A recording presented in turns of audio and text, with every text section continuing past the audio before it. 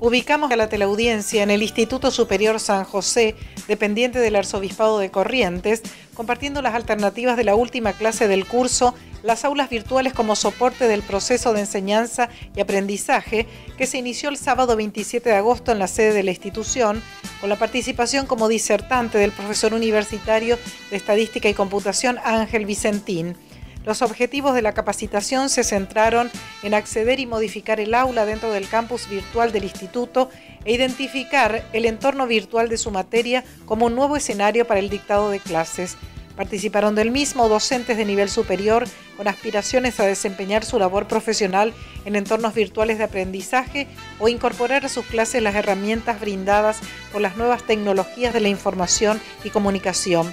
Cabe consignar que se sumaron a la capacitación docentes de nivel medio de las escuelas asociadas a las prácticas y residencias de alumnos de los profesorados que se dictan en el instituto y alumnos que cursan el último año de la carrera de formación docente.